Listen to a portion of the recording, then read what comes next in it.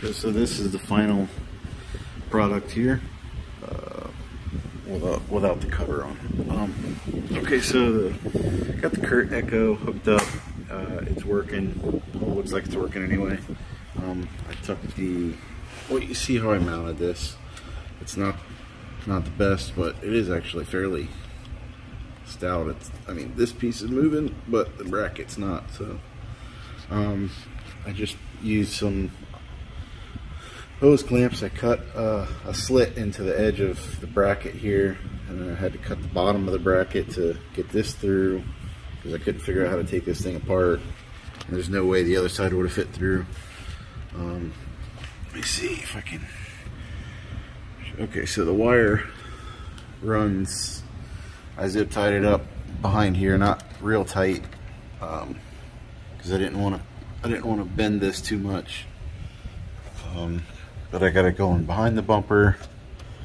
If you can see this, behind the bumper, over.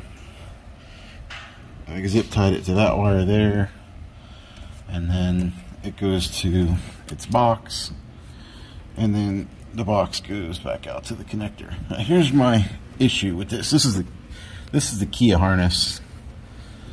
Um, I'm gonna try and get a good shot here these wires look like they're maybe I want to say like maybe 14 gauge or so at the thickest.